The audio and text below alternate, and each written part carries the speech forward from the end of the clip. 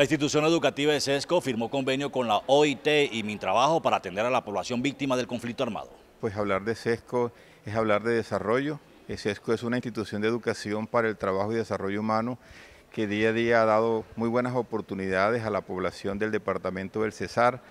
Hoy con 30 programas certificados, hoy hablamos de una certificación de calidad.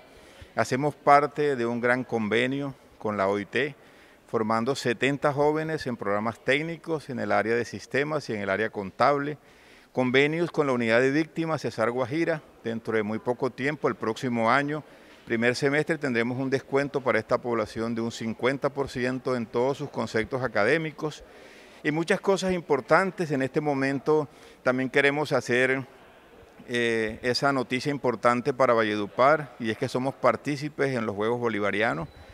Eh, martes y sábados tenemos unos puntos de atención donde puedes inscribirte para voluntariado y hacer parte de esta gran oportunidad que tiene el Cesar en los juegos y el deporte. ¿Martes y jueves de a qué horas? Martes eh, y sábado, perdón, martes y sábado de, 7 de, de, 8 de la mañana a 10 y los sábados de 7 a 10 de la mañana. ¿Qué, qué personas pueden venir a inscribirse aquí para los juegos?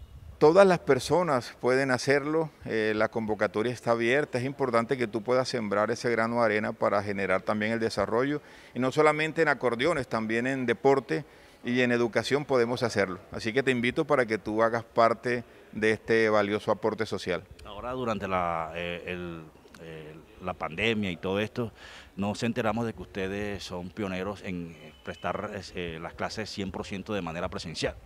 Sí, nosotros somos muy eh, estrictos en el cumplimiento de normas.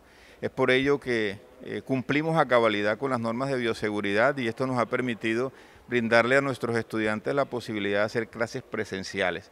100% presenciales, conservando todas las normas de bioseguridad establecidas. Sí, completamente. Es más, mira, nosotros gozamos de una infraestructura sin pues, hacer halagos. Creo que es la mejor infraestructura física que tiene el municipio de Valledupar en cuanto a educación.